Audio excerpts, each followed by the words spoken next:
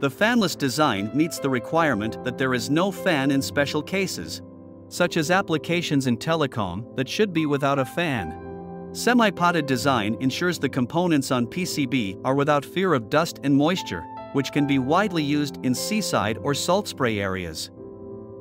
Furthermore, the case is anodized and sandblasted. Meanwhile, its body is plated with MIS tin and the screws are plated with blue zinc, which improves corrosion resistance.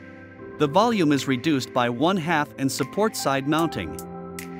The series with 305 volts input are not afraid of grid fluctuation and meet the application of 5000 meters altitude. It can withstand 150% peak load output for one second. More information, please visit our website, www.mornsun-power.com.